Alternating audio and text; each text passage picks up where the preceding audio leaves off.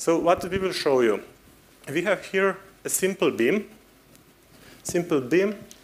We will measure the frequency response uh, uh, functions at 10 points, impact excitation, a roving hammer, and uh, yes, what you see here is you have four steps. So you need to define the geometry, measurement, analysis, and animation. And we will first start with geometry.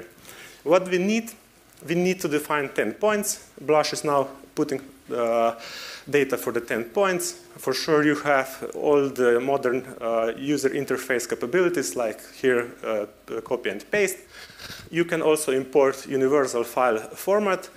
And uh, as the points are defined, you can see here that the uh, uh, view is updated. Now we will focus slightly to the defined geometry. You can now easily add, uh, so we are now adding nodes. Now Blaž will add lines, and then you can also continue with triangles. I said that we have import and export capabilities for the standard universal file format. Let's see now. Okay. Okay, then we will continue with the measurement. Okay. Uh,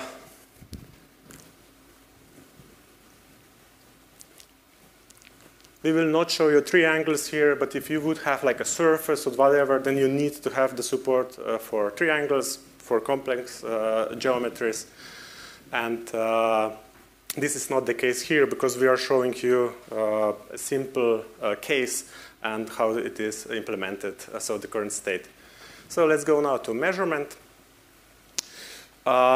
Okay, we have here a window that I will explain later, but now we will go to measurement. We need to define the uh, data, data, acquisition system.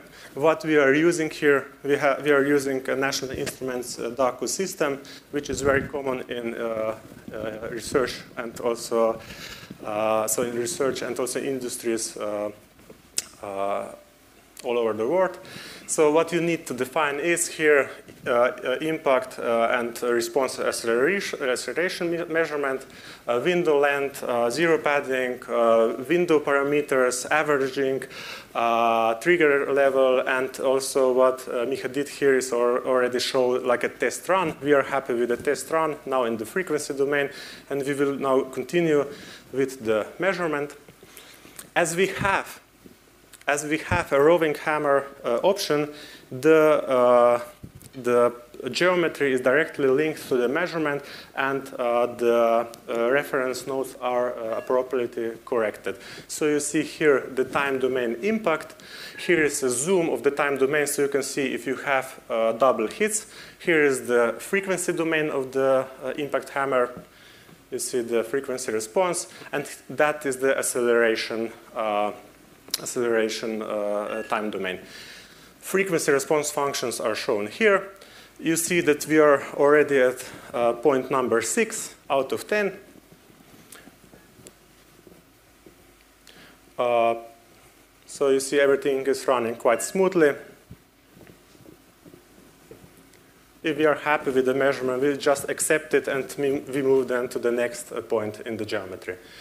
The next thing is we now have the frequency response functions for 10 points. We can go now directly to animation and we can show the deflection shapes directly without any modal identification methods.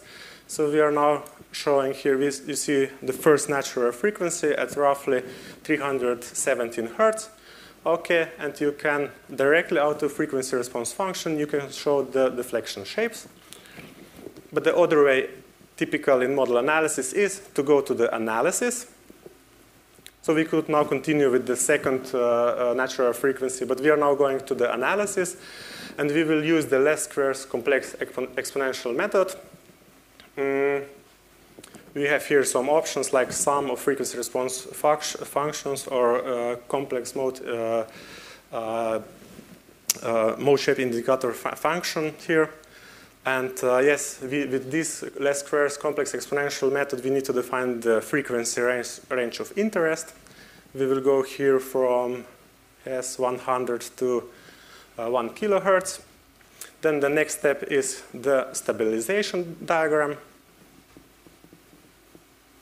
Okay, what we need to uh, select here are the stable poles. Stable poles have been selected, and next step is the reconstruction. And you can now see blue curve is the reconstructed frequency response function, and red is the originally measured one. Uh, we see that we have a good reconstruction at, at all uh, measurement location, locations. So we go back to animation, and now we can uh, show the identified uh, mode shapes. So that is now the identified mode shape, and the second identified mode shape. Okay, thank you, Blaž.